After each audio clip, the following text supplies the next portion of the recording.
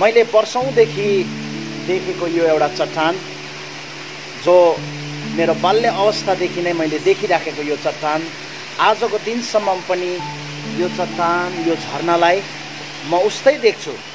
अनि यो चट्टानबाट कैयौँ हुरी तुफान बाढहरू उर्लेर गएको दृश्यहरू पनि मैले देखेको छु। मलाई यस्तो लाग्ने गर्थ्यो जब यो भिरबाट यो पहाडबाट जब भेलहरू बगेर आउँदाखेरि यो चट्टानको पनि रूप नै अस्तित्व नै मेटेर जान्छ होला जस्तो मलाई लागेको थियो। तर यो चट्टानको रूप त्यस्तै नै छन् आज जस्तो छ अनि यो कहिले पनि परिवर्तन भएको छैन। मलाई यो पहाड अर्थात् यो एउटा झरना देख्दै गर्दाखेरि मलाई बाइबलको भजन सङ्ग्रह एक सौ एक्काइस अध्यायको एक दुई तिन खण्ड याद आइराखेको छ। जहाँ यसरी लेखिएको छ पर्वतहरूतिर म आफ्नो नजर उठाएर हेर्छु मलाई गुहार कहाँबाट आउँछ? मलाई गुहार चाहिँ स्वर्ग र पृथ्वी सृष्टि गर्नुहुने परमप्रभु परमेश्वरबाट नै आउँछ जसले मेरो पाइलाहरूलाई चाहिँ चिप्लनु दिनुहुने छैन भनिकन त्यहाँ लेखिएको छ। अनि भजनकारले यो खण्ड लेख्दै गर्दाखेरि मलाई अनुभव म मेरो जीवनमा त्यो कुरोलाई म सम्झन्छु।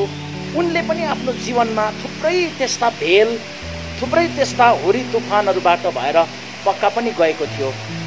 आज म मेरो यात्राको एउटा दौरानमा म एउटा यस्तो खाले ठाउँमा आइपुगेको छु सायद यो ठाउँमा घरिघरि म आउन पाउँदिनँ र प्राय मानिसहरू यो ठाउँमा आउँदैनन् पनि। किन भन्दाखेरि यो ठाउँमा के हेर्नको निम्ति मानिसहरू आउँछ मलाई थाहा छैन। अनि यो ठाउँमा आउँदै गर्दाखेरि म एउटै कुरा सम्झना गर्छु। हाम्रो परमप्रभु परमेश्वर कहिले पनि परिवर्तन नहुनुहुने परमेश्वर हुनुहुन्छ।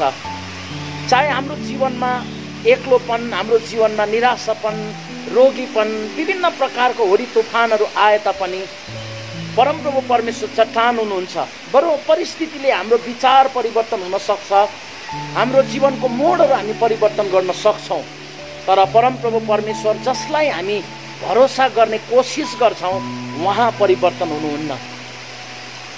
बाइबलको अर्को पनि एउटा मलाई खण्ड याद आउँदैछ हिब्रू तेह्र अध्यायको पाँच पदमा यसरी लेखिएको छ कि परमप्रभु परमेश्वरले तिमीलाई कहिले पनि त्याग्नु हुने छैन र कहिले पनि छोड्नु हुने छैन भनिकन लेखिएको छ।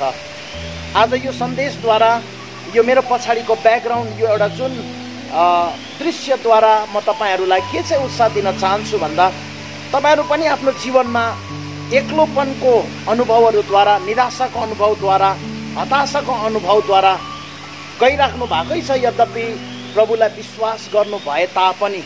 त्यस कारणले गर्दाखेरि जीवनमा कोही बेला म एक्लो छु। जीवनमा म कोही बेला हताश र निराश छु। मेरो बिसाउने ठाउँ चौतारी कहीँ पनि छैन। मलाई बुझिदिने मेरो जीवनको बोझ र पीडाहरूलाई हल्का बनाइदिने कोही पनि छैन भन्ने एउटा अनुभवभित्र तपाईँहरू पुग्नु भएको छ। तर अघि मैले वाचन गरेको खण्ड भजन एक सौ एक्काइसको एक दुई र तिन अनुसार परमप्रभु परमेश्वर चट्टान हुनुहुन्छ। उहाँ अटल हुनुहुन्छ। हाम्रो जीवनमा जस्तो सुकै हामीले जीवन जिए तापनि परमप्रभु परमेश्वर स्टिल जीवनको अन्तिम हाम्रो जीवनको अन्तिम घडीसम्म हामीलाई पर्खिनुहुन्छ र हामीलाई गुहार गर्नुहुन्छ। यदि हामीले उहाँ अल अलौकिक परमप्रभु परमेश्वर जो अदृश्यमा हुनुहुन्छ उहाँ परमप्रभु परमेश्वरको प्रेमलाई हामीले थाहा पायौँ भने हाम्रो जीवन सार्थक बन्दछ प्रिय मित्रहरू। जसरी यो प्रकृतिको एउटा सुन्दरता प्रकृतिको यो एउटा दृश्यले पनि के चाहिँ बताउँदछ भन्दा यो चट्टानबाट कैयौँ हुरी र भेलहरू आए तापनि आजको दिनसम्म यो यथावत आफ्नो ठाउँमा बगिराखेको छ। अझै अहिले हेर्दा यसको सुन्दरताहरू पनि छ।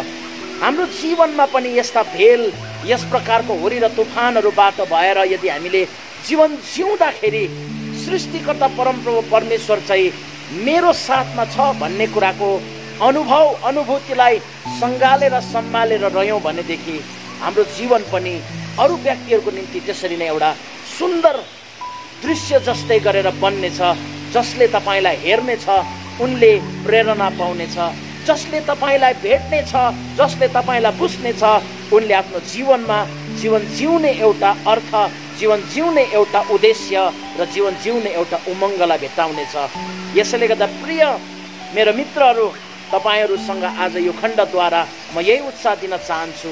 परमप्रभु परमेश्वरले तपाईँलाई कहिले छोड्नुहुन्न कहिले पनि त्याग्नुहुन्न उहाँको प्रेम अनन्तको प्रेम छ उहाँको प्रेम सदा बहार प्रेम छ उहाँको प्रेमलाई अङ्कमान गर्नुहोस्।